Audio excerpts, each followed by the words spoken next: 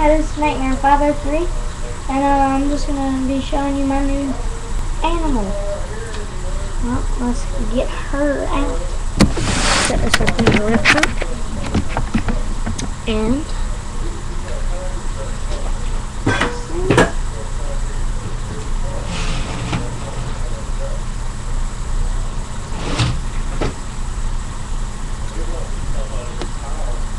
our belly too.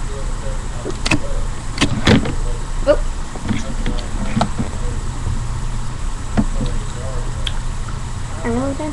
They get their name from their underbellies.